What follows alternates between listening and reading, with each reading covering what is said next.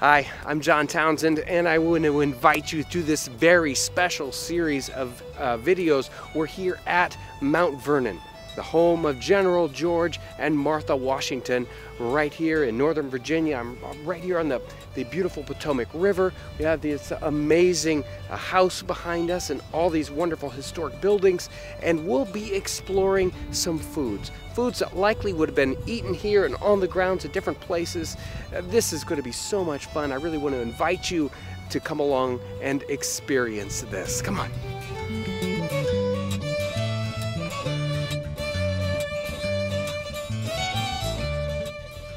Hello, Deb.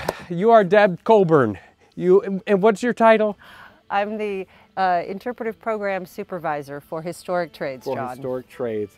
This is wonderful. We're going to be doing a lot of cooking this weekend, right? We sure are. Or this week. Uh, but not as much cooking as would normally go on here. That's correct. Tell me about this. Absolutely. So in Washington's lifetime here at Mount Vernon, this is fishing season. So this is when a million to a million and a half shad herring are being harvested out of the river every spring during a six-week period. And that is a time when Washington is calling for all hands on deck, literally bringing slaves out of their regular duties, not just field hands, but uh, his blacksmiths, his carpenters, his spinners, his dairymaids, his house servants. And so as a result, they're working round the clock while the fish are running. Washington wants those nets out there. These Yeah. people are not going to be going back to their homes to prepare their meals for themselves the way they normally do.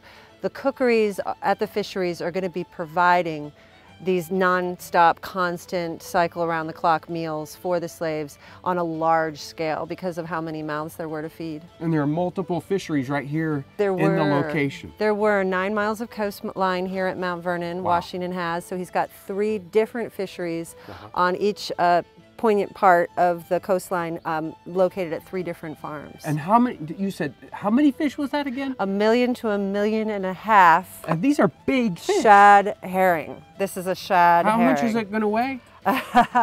um, I think this one in particular was about a 20 pounder. I can't, that is, that is hard to fathom. And this is all hand processed fish at the time. And they're doing this within a six week period. six week period. Now the salting um, is happening at, at the same time as well. So not just the fresh fish is being prepared, Right. but the main purpose for these fisheries is Washington's export business of salt fish herring down to the West Indies and to produce enough salt fish to give each of his working slaves five ounces of salt fish every day, 365 days out of the year. That, that is, it's an, it's an incredible process. I'm sure it must have been amazing to watch it going on. Well, we can only imagine, um, Yeah. and the documentation that we have, of course, can bring up vivid imagery of what was going on. wow. So how do we get started with this guy? Okay, well, first we have to clean him. And Okay. so, what that entails basically is uh, scaling him. So, removing any of the scales that will come off with the scraping of the knife. Now, they're silvery, and what's fun about these fish is that uh, they were incredibly visible, not just because of their quantity in the river, but the amount of So brilliant. yeah, just brilliant and shining in the in the sunlight. So here we go. So basically taking off the majority of the excess scales and then moving from the scaling into cutting its head off. Okay. We don't need that. Nope, we don't need the head. Although they probably were saving this to put in soups, Uh-huh. um, fish head soup. I would have been able to get some nutrients out of that and one more Maybe we'll thing do that to some feed. other day. Other day. I'm not as interested in it myself. He's a big one, so just keep working our way through here. Without cutting yourself. Mm-hmm. Good. And then we're gonna get rid of all the stuff on the inside that we don't need. Focus on The actual meat the portion. actual meat portion. And so then the next thing that happens is you have to cut through so that you can splay it open like I've done with this one here. Right. And that's, uh, it's called butterflying it. So we're basically breaking the ribs from the spine so we can get this whole fish to lay flat. There we go. All right. That's a much happier one. Now I'm just gonna dip her into my wash tub Okay. so that I can get the last of the mess off. Now we're gonna season them. Okay, seasoning. Seasoning. So the kinds of things that would have been very readily accessible are going to be cayenne pepper. Okay.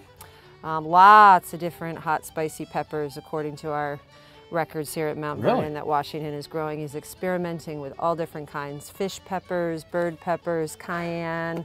Um, It's amazing. Isn't it incredible? I, I really wouldn't have guessed that.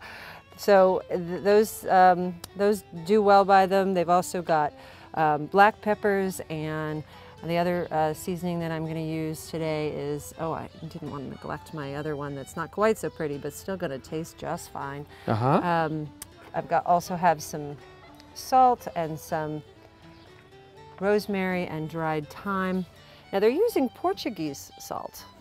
That's uh, interesting. Isn't it? Isn't Yeah. it? Now, so Washington is choosing Portuguese salts because it's best for the salting of the fish um, that he, he needs to ship Uh-huh. and to you know preserve for long periods of Sure. time. Um, and that's his preferred. He's always complaining about when he has difficulty getting it Uh-huh. and looking for it.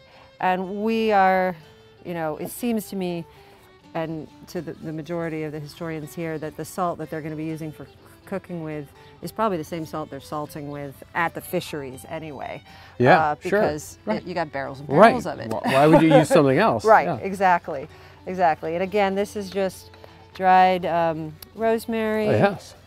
some thyme, some of your more traditional savory spices. So at this point, this is your planked or ready to plank shad. Okay. And uh, we'll be attaching it to the plank with nails Uh huh. and basically nailing it into the plank from the top. Okay. And that way the fire will be able to roast the inner meaty portion of the fish. So this is our our uh, our planking station, right? That's right. Where we can build a fire, but right now we don't have a fire. We're just gonna. How do we do this? Well, we're going to mount the fish on the plank. Okay. So what I'm going to need you to do is hold it in place for me about there Okay. while I get my nails. And it's super simple. You just basically push it right through the flesh, but up in a nice strong area that's going to hold the whole weight of the fish. Ah, That's one. okay. And it doesn't get any nails or anything down here. Nope, it's just going to dangle okay. free. It's just gonna dangle. Dangle free. Okay. All right, we got that one there, beautiful. And so you can imagine on a really big scale operation how many, how large this plank wall would be and how many fish you're gonna be attaching to it regularly. And basically, once you get your nails in place, you can just slide the fish off later on Uh huh. and slide the fish right back over the same nail. So I you're not see. having to re-nail every single, single, Right. single time. So I think that's gonna do it. and that there there they are. There they are. Now we Okay. build our fire in front. And we'll just have a low fire right there. Yep. Okay. Yeah. So Deborah, these have been on for About an hour. about an hour. How do you know when they're done, other Well- than maybe by looks? Well, by looks, but also traditionally, you Uh-huh. know, just like you do anything else you're checking at your oven at home, you're going Right. to poke them. You're going to feel what that flesh feels like. You're going Right. to take a peek on the inside, and I see nice cooked fish there. Right. So it's like flaky, it's white, it's not that red translucent color. Exactly. Okay, and so and and you haven't turned this or anything. It's Nope. just it just there it is. There it is, Okay. roasted right off, right uh, in front of the open fire. And how do we get it off of there? We're going to slide it right off of these handy dandy nails and not drop it in the fire. and not drop it in the fire or catch it that tail and it, on and fire. it holds together really well, Doesn't maybe with it? all that fish skin and everything. Yep, but look how flaky it wants to peel That, off is, that already. looks amazing.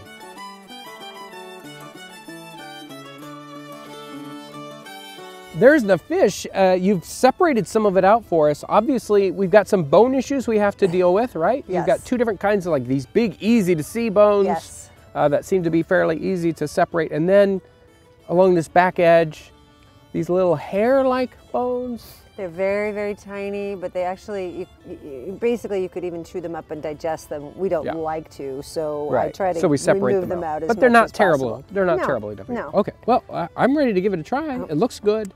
It smells good. See what you think.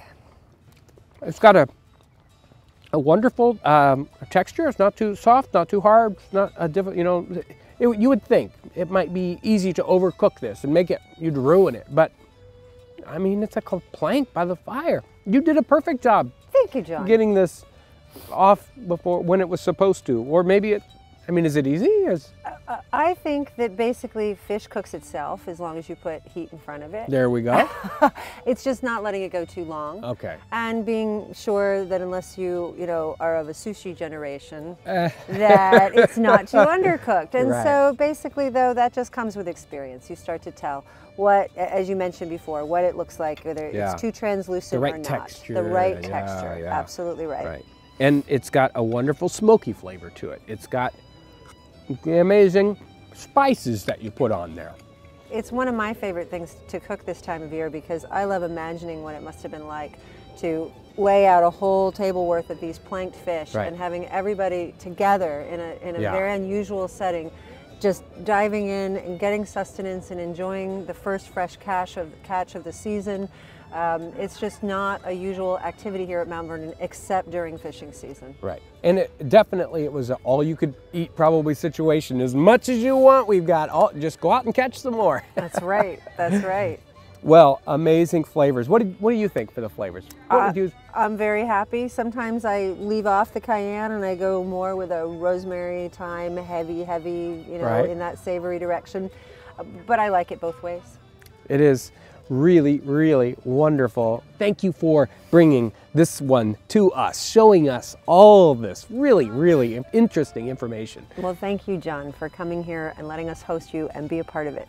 I want to thank everyone out there for coming along with us as we experiment with this. This is an amazing site. If you're ever in this Northern Virginia area, uh, George Washington's Mount Vernon, this living history site with the mansions and the buildings and the people doing things and the historic trades, there is so much to see, so much to learn. It is truly an amazing site. It is a gem. You have to come here. I want to thank you for coming along with us um, and experiencing in any way you can, savoring along with us the flavors and the aromas of the 18th century.